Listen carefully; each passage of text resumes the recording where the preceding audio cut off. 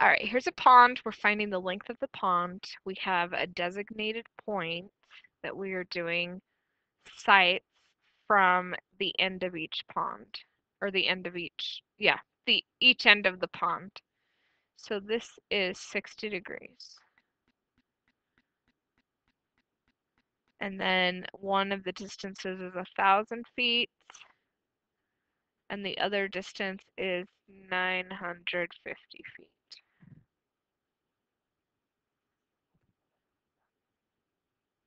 I don't know. It's just feet.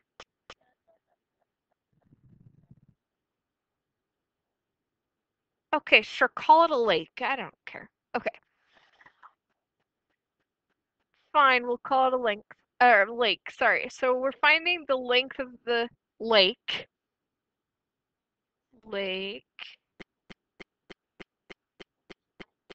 Okay. Then we're using law of cosines.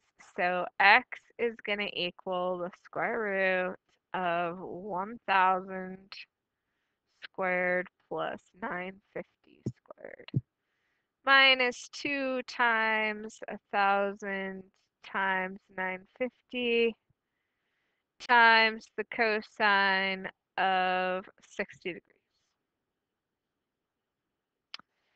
All right, throw it in. What do we get?